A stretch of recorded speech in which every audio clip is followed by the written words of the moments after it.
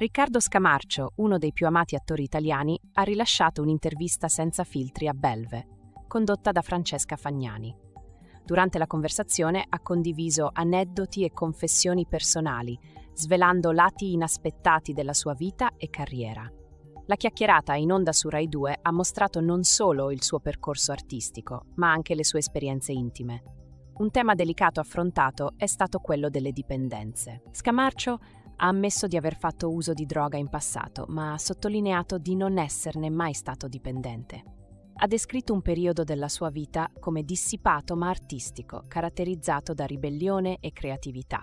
Ha anche parlato dei premi nel cinema, esprimendo rammarico per non aver ricevuto il giusto riconoscimento.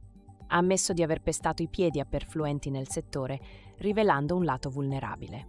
Infine si è discusso dell'amore. Scamarcio, legato a Benedetta Porcaroli, ha parlato della sua relazione con affetto. La madre ha espresso gioia per la serenità del figlio.